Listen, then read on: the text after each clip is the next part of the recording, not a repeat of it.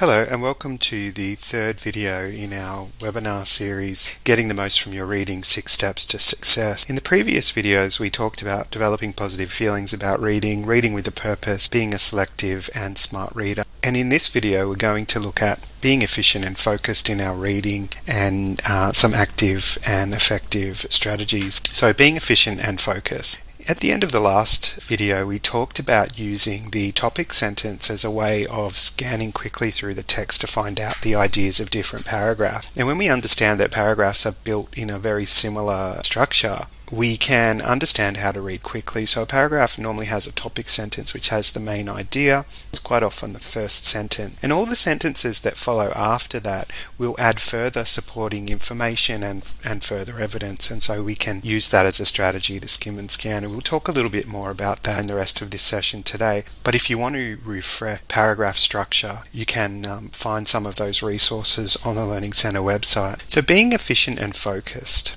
One way to be efficient is to read without stopping. So sometimes we come across the meaning of a word, we don't know exactly what it means, and we stop and we look it up. This isn't very efficient, and if we read on a little bit further, we often find that the word becomes clear in the next couple of sentences, and we can use that as a strategy. Of course, we can also underline unknown vocabulary and check it in a dictionary later on or at the end of a paragraph. Sometimes we find that people that are quite anxious might keep skipping backwards in the text to reread sex to make sure that they have understood what was said previously. And this kind of thing can really slow reading down. And so it's quite helpful just to continue reading and not keep checking back and checking back and checking back. And if this is a big problem for you, you can cover previous parts of the text.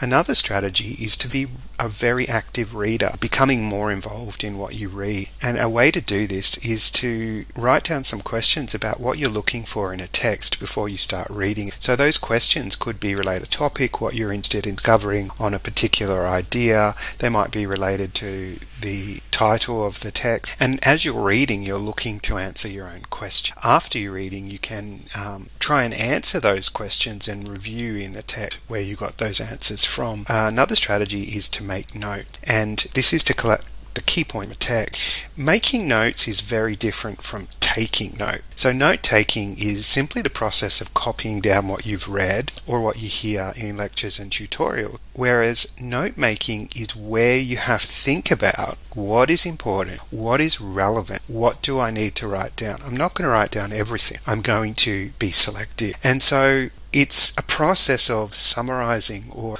highlighting information. When you make notes, you're asking yourself a series of questions, beginning with Do I really need this information? If so, do I need all of it? Or can I select some parts? What information is important for me to have at this time? And what am I going to use the notes for? Uh, is it for an assignment? Is it for an exam? Is it for my knowledge before a lecture? So we're making note with a purpose. We're not just writing down everything. Let's talk about being active and effective. Taking excellent notes is really, really effective, but it's also really active. And this means, as we've just discussed, summarizing and clarifying and not writing everything down. And a way we can do this is to read for meaning. So we're reading a chunk of language. And that could be one paragraph from a text or one subsection. Then we can close the book. So we're not copying word for word. And we can think about what's the what's the general message here? What's the overall message? Writing that down in our own words means that it's not possible for us to plagiarize later on if we're looking at our notes and, and adding them to our own assignment. And it also helps you to clarify what you do or don't understand. If I can't write something in my own words or if I can't say it in my own words, I haven't really understood the meaning yet and I need to go back and clarify. Another strategy that we can use in taking excellent notes is to very clearly organizing our notes under headings or subheading. This helps us stay on track and we can see where our gaps in knowledge are. While investigating a text, we can underline any word that we don't understand and look up their meanings either immediately or sometime after. We can also highlight or underline important parts of the text and then write some notes in the margins as to why this is an important section. Or we can use our own template or notebook, and we can constantly ask ourselves, how am I going to use this information? Why am I actually noting it down? What's the purpose of it? Am I going to put it in an assignment? In the case of using it for an assignment, which is often written, there's a couple of strategies that we can use. So, in purposeful reading, one strategy is skimming, which we talked about a little bit already. It's a strategy of getting a really quick sense of whether this particular text is going to be useful or not. We keep our topic's title or question on a piece of paper in front of us, and we're always referring to that and asking ourselves, is this text related to my topic or to my assignment question? A really quick way of skimming is what we call top and tail, and it means to read the first paragraph and the last paragraph of the article or chapter, and we read the topic sentences of each paragraph along the way. So we're not reading the whole text. And this gives us a skeleton of the text. We understand what happens, the bones of the text, but we're not reading in a lot of detail yet we're looking for key names, could be names of authors, could be names of theories or concepts. We're looking for useful words and phrases. This will help us to understand whether or not it's worth reading the text in further detail. We can read critically and with purpose, and this means being an active reader, and we've talked a lot about that and how we interrogate the text to find meaning. And we use those critical questions that we formulated before we started reading or that we formulated about our assessment when we started to plan. It means that when we're reading, we're really reading with a purpose where we're trying to find answers to our questions to further our understanding on a particular topic.